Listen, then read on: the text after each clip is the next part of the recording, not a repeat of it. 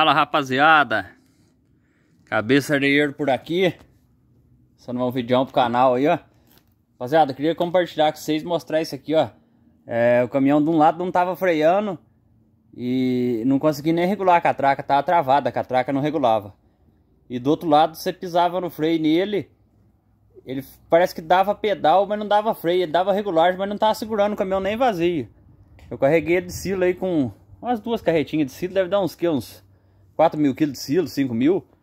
O caminhão não parava, não tinha freio, não tinha manete. Você puxava o manete dele com o freio regulado e continuava andando. Tava freando a roda só, lógico, traseira, né? Mas mesmo assim era para segurar com 5 mil quilos. Aí desmontou lá, rapaziada. Olha, dá uma olhada aqui pra vocês verem que jeito que tá. Um, um eu já lavei, um patinho eu já lavei. Desmontou de um lado só por enquanto. Vai vendo aqui, rapaziada, ó. Ó a situação. A situação, aqui, parece que, enche, parece que encheu de graxa, ó. Pra mostrar pra vocês aí que que tá isso, rapaziada. Vai vendo. Olha a lona. Aqui pegou uns capinzinhos aqui do pôr no chão, mas olha aqui, rapaziada. Você tem cabimento no negócio desse aqui? Freia quanto um caminhão desse jeito aqui, rapaziada? Hã? Olha quanto tempo faz que essa terra tá aqui. A terra tá vermelha. Não freia, rapaziada. Isso aqui é, é, é, vai dar ruim. Olha aqui as molas. Dá uma olhada. Você tá doido, é. Aí não freia não, é. Então vamos... Eu vou lavar aqui, levar pro rapaz lá. E ele vai montar. O diferencial já tá no lugar, o câmbio já tá no lugar. Agora tá revisando as pontas. Vai vendo. Quase encheu de graxa. Graxa, olha, sei lá. Ele tinha enchido eu virar aqui. Enchido, rapaziada, os cubos dele de graxa. E aquele caminhão, as pontas ali é banhada a óleo. Os rolamentos é banhado a óleo. Com o mesmo óleo do diferencial. E eles tinham enchido de graxa. Pensa que anarquia. Ainda bem que essa graxa não correu. O retentor lá vedou, no, não correu pro lado do diferencial. Coroa, pinhão, essas coisas. Porque quando desmontou tava bonito. O diferencial dele tava bom. Só trocou as roelas da caixa satélite.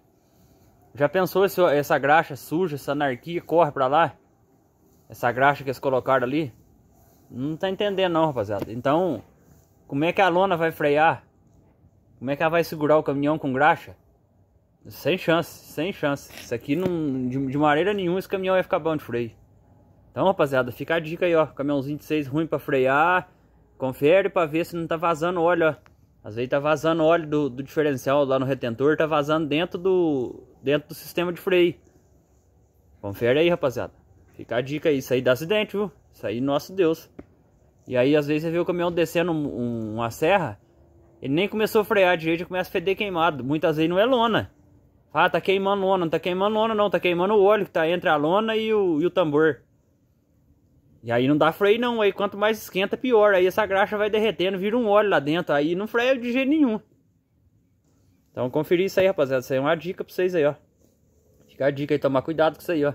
É, comprou um caminhão, um caminhão que vocês não conhecem, ou faz muito tempo que não mexe nas rodas, leva no mecânico de confiança, manda tirar ali o, o par de roda com tambor e tudo, conferir as lonas, já, já troca o retentor, porque o, re, o retentor estraga, é borracha trabalhando no ferro. Então confere isso aí, rapaziada. Fica a dica nossa pra vocês aí, ó.